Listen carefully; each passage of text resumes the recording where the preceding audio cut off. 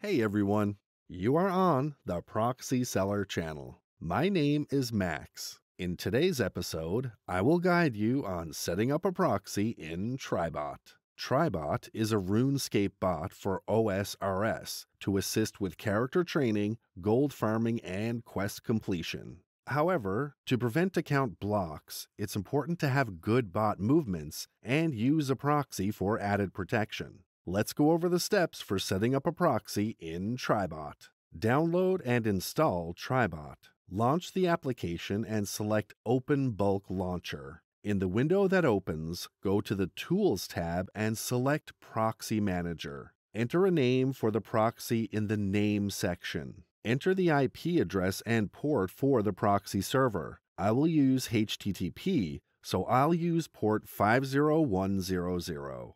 If you have a private proxy, fill in the username and password in the respective fields. Click Apply to save the settings. The configuration is complete.